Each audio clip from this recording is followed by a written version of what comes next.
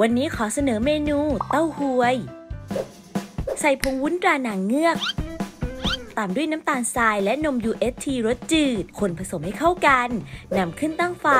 คนตลอดเวลาจนส่วนผสมเดือดทั่ว เติมกลิ่นมะลิ ปิดไฟพักให้อุ่น เกร็ดความรู้การทำวุ้น การต้มวุ้นต้องต้มให้เดือดทั่ว หรือให้มีฟองอากาศลอยตัวจะทำให้วุ้นละลายหมด เมื่อพักให้เย็นวุ้นจะทรงตัวดี เทส่วนผสมที่ได้ลงในพิมพ์ที่เตรียมไว้ แช่เย็นจนส่วนผสมทรงตัวดีนำออกจากพิมพ์แล้วหั่นเป็นชิ้นจัดใส่ภาชนะ ตกแต่งด้วยผลไม้เชื่อมที่เตรียมไว้วางช่อสะระแหน่ให้สวยงาม พร้อมเสิร์ฟค่ากับเมนู